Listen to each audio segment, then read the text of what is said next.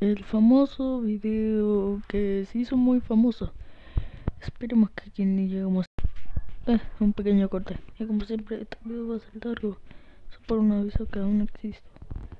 Un problema de ediciones y demás cosas. Además que el trabajo. Pero ahora estoy descansando, así que podré hacer más videos. Ah, por fin he subido mucho de plataforma y de suscriptores. Muchas gracias por todo lo que hicieron.